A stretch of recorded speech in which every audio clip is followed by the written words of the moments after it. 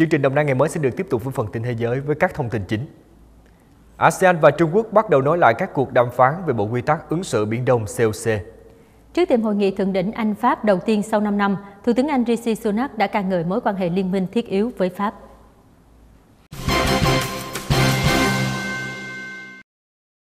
Thưa quý vị, Bộ Ngoại giao Indonesia hôm qua cho biết Hiệp hội các quốc gia Đông Nam Á, ASEAN và Trung Quốc đã nối lại các cuộc đàm phán về Bộ Quy tắc ứng xử Biển Đông COC từ ngày 8 tháng 3. Phát biểu họp báo, Tổng vụ trưởng Hợp tác ASEAN thuộc Bộ Ngoại giao Indonesia, ông Sidharto Suryo Dipuro nhấn mạnh rằng Chúng tôi đã bắt đầu thảo luận với các quốc gia khác thuộc nhóm công tác về tuyên bố ứng xử của các bên ở Biển Đông DOC, việc làm thế nào để thúc đẩy các cuộc đàm phán đang diễn ra.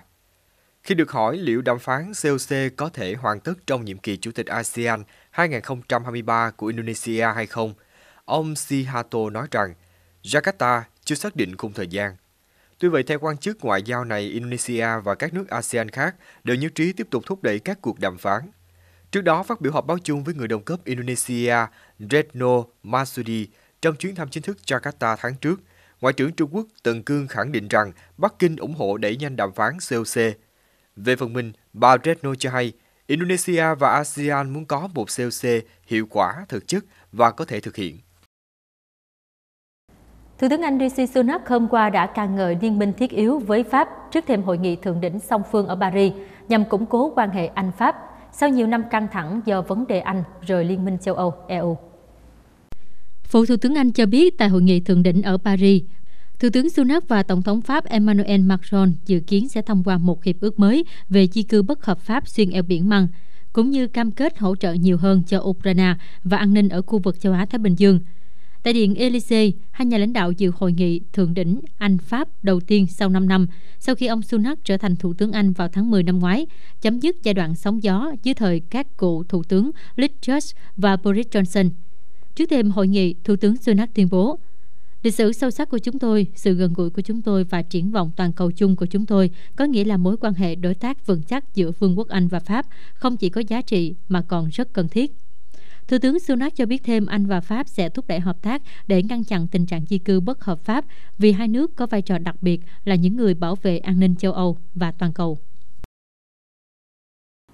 Phần Lan hôm qua cho biết đã chấp thuận đề nghị của Ukraine và phân bổ 29 triệu euro tương đương với 31 triệu đô la Mỹ, nhằm viện trợ nhân đạo và an toàn bức xạ cho Kiev. Ukraine đã yêu cầu sự hỗ trợ từ Phần Lan, đặc biệt là để đáp ứng các nhu cầu trước mắt và lâu dài liên quan đến giáo dục, môi trường và an toàn bức xạ. Phần Lan đã chấp nhận cung cấp cho Ukraine 29 triệu euro hỗ trợ nhân đạo và hỗ trợ hợp tác phát triển. Trong đó 5 triệu euro sẽ được chuyển thông qua Quỹ Nhân đạo Ukraine của Văn phòng điều phối các vấn đề nhân đạo của Liên Hợp Quốc – hỗ trợ trực tiếp cho an ninh lương thực, dịch vụ y tế và chỗ ở khẩn cấp, cũng như hoạt động của các tổ chức xã hội dân sự địa phương. 5,4 triệu euro sẽ được chuyển thông qua hai đối tác quan trọng khác của Phần Lan tại Ukraine là chương trình Lương thực Thế giới và Ủy ban Chữ thập đỏ quốc tế. Một số hỗ trợ nhân đạo được chuyển qua các tổ chức xã hội dân sự Phần Lan. Khoản hỗ trợ 29 triệu euro này là một phần của khoản tài trợ bổ sung trị giá 70 triệu euro mà chính phủ Phần Lan đã phân bổ để giúp Ukraine trong năm 2022 Ngoài ra, 37 triệu euro đã được dành riêng cho năm 2023 để hỗ trợ Ukraine thông qua hợp tác phát triển. Khi chiến sự ở Ukraine vẫn chưa chấm dứt, nền kinh tế nước này đang chững lại, chịu sự suy thoái nghiêm trọng nhất trong hơn 30 năm, với mức giảm 30,4% GDP. Liên minh châu Âu EU đã cung cấp hỗ trợ tài chính và quân sự cho Ukraine trong 12 tháng qua, thậm chí còn mở đường cho Ukraine gia nhập EU trong tương lai – sau khi trao cho nước này tư cách ứng cử viên vào tháng 6 năm 2022. Tại Kiev ngày 2 tháng 2 vừa qua, cùng với 15 ủy viên châu Âu, Chủ tịch Ủy ban châu Âu Ursula von der Leyen tuyên bố châu Âu đã sát cánh cùng Ukraine ngay từ ngày đầu tiên bởi vì chúng tôi biết rằng tương lai của lục địa chúng ta đang được viết nên ở đây.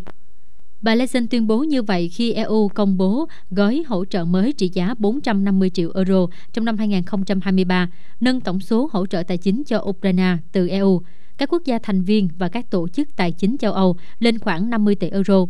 Số tiền này được chi cho nhiều lĩnh vực, bao gồm viện trợ nhân đạo, hỗ trợ quân sự, hỗ trợ tài chính vĩ mô và các khoản vay.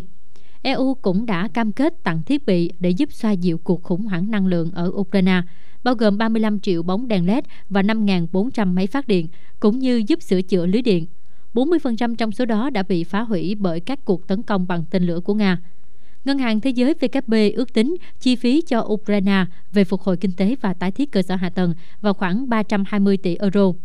Tuy nhiên, theo nhà phân tích Olena Bilan tại Dragon Capital, nền kinh tế Ukraine đã phục hồi một cách đáng kinh ngạc.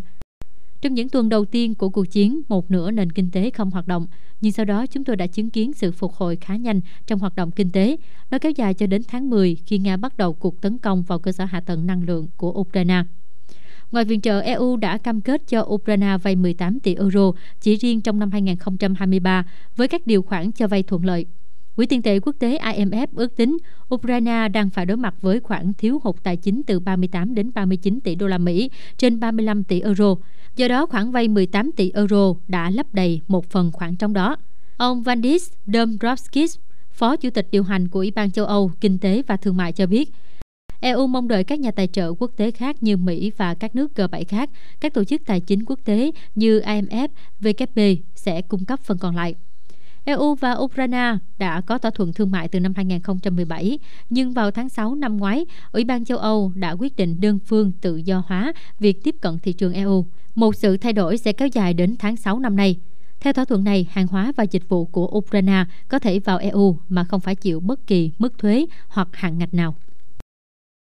Trong khuôn khổ phiên họp toàn thể lần thứ ba kỳ họp thứ nhất Đại hội đại biểu Nhân dân Toàn quốc Quốc hội Trung Quốc CPPCC khóa 14, hôm qua ông Vương Hữu Ninh đã được bầu làm Chủ tịch Chính hiệp, cơ quan cố vấn chính trị hàng đầu của Trung Quốc. Lãnh đạo mới của CPPCC đã tham gia Ủy ban Thường vụ Bộ Chính trị, cơ quan ra quyết định hàng đầu của Đảng Cộng sản Trung Quốc vào tháng 10 năm ngoái. Sau đại hội đảng toàn quốc lần thứ 20, ông cũng là bí thư thứ nhất của Ban bí thư Trung ương Đảng. Của hôm qua, 23 người được bầu làm Phó Chủ tịch Chính hiệp. Vâng thưa quý vị, chính quyền vùng lãnh thổ Đài Loan Trung Quốc đã công bố thời điểm bầu cử vào ngày 13 tháng 1 năm 2024 để chọn người kế nhiệm nhà lãnh đạo đương nhiệm Thái Anh Văn. Cơ quan bầu cử Đài Loan thông báo cuộc bầu cử lãnh đạo và cấp phó cùng 113 thành viên lập pháp Viện Đài Loan sẽ được tổ chức vào ngày 13 tháng 1 năm 2024 bà Thái Anh Văn đang phục vụ nhiệm kỳ thứ hai và cũng là nhiệm kỳ cuối. Các đảng chính trị lớn vẫn chưa chọn ứng cử viên ra tranh cử. Ứng viên có khả năng của đảng Dân Tiến cầm quyền là Chủ tịch Lại Thanh Đức, cấp phó của bà Thái.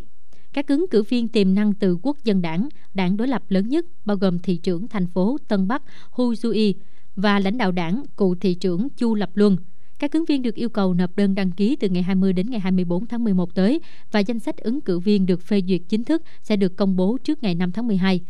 Cuộc tranh luận trên truyền hình dự kiến sẽ diễn ra trong khoảng thời gian 16 tháng 12 năm 2023 đến 12 tháng 1 năm 2024.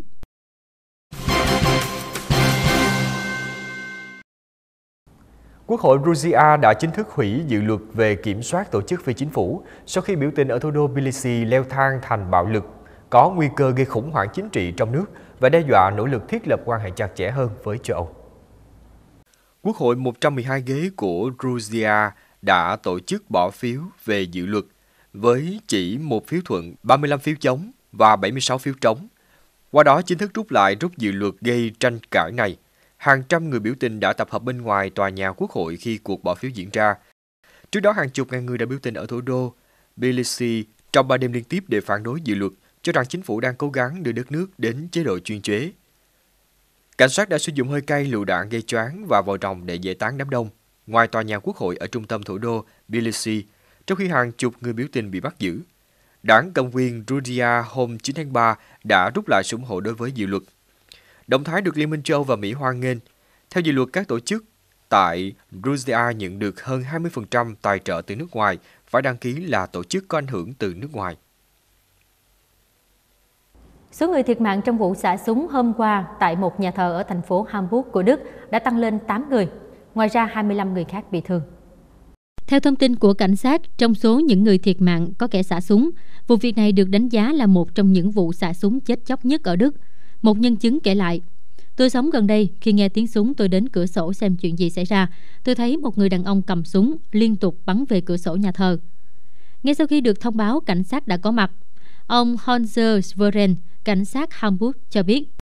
Lúc cảnh sát đến hiện trường, nhiều nạn nhân đã bị thương nặng và nhiều người khác đã thiệt mạng. Cảnh sát nghe thấy tiếng súng ở tầng trên và tìm thấy một người ở đó.